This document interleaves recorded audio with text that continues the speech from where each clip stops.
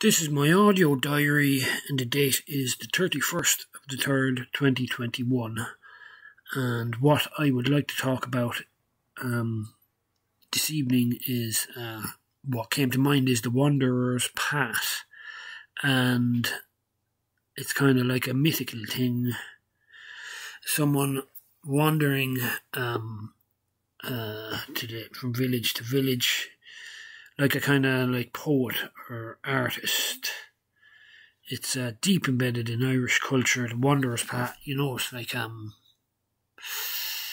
you know, the the, the traveling man. The, the um, I was watching a video on it. Um, they're talking about like that. The opportunity will come. Like it's not about the money. Just go. Um, you know, centuries ago, men used to get on boats uh, without anything like just a, a rucksack, and that was it. They that was the way it was. You know, they they they emigrated, and they had nothing, nothing, no savings. You know, and there's an old saying. Um, in days of old Men of steel built boats of wood.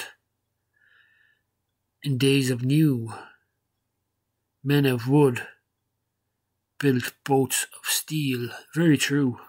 And on my journey, I'm a work in progress. Strange times. Uh, like the song, Strange Times. Uh, here we are. And I lived the artist life for a while. Stuff like that. The work life for a while. this is an ongoing artistic project. I'm working like whoever hears this hears this. That's my it's like faith. Trust in the the plan, trust in the Lord. You know, for shall provide uh, and prevail in the end. And that's uh, what, but like I don't always get it right. Um, the Wanderer's Path, yeah, was always ever since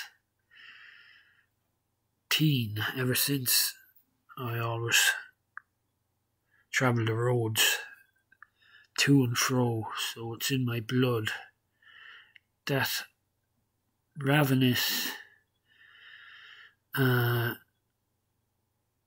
vagabond almost. Um, wanderer. It's deep deep embedded in a uh, you know the the, the um it's uh free beings. Yeah. Free beings that's what we are and uh in this day and age, you know, it's uh, natural law doesn't come into it. Um, and pretty much feel like a prisoner in in where where I'm staying, like you know. So uh, I just want to trust and don't let don't let my feelings get the better of me and I guess I let the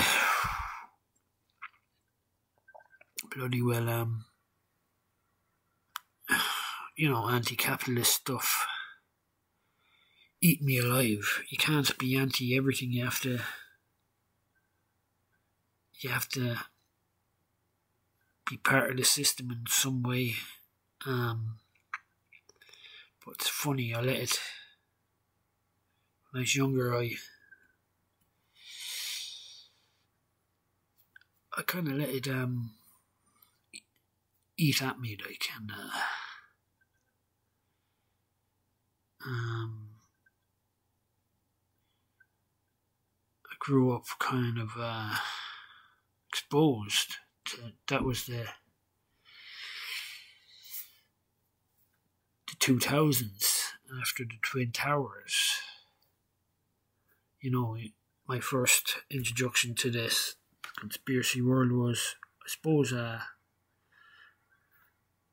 um, Fahrenheit 9/11. Well, I mean, like he covered some uh, aspects of that. Michael Moore and you know Zeitgeist and etc and uh, um, Aaron Russo stuff like that. That was my introduction. Um, funny, funny part, like you know, just and I did arts design, get out of the rat race, get my degree. Wandering path. Anyways, uh, uh, like, share, subscribe. Talk to you soon.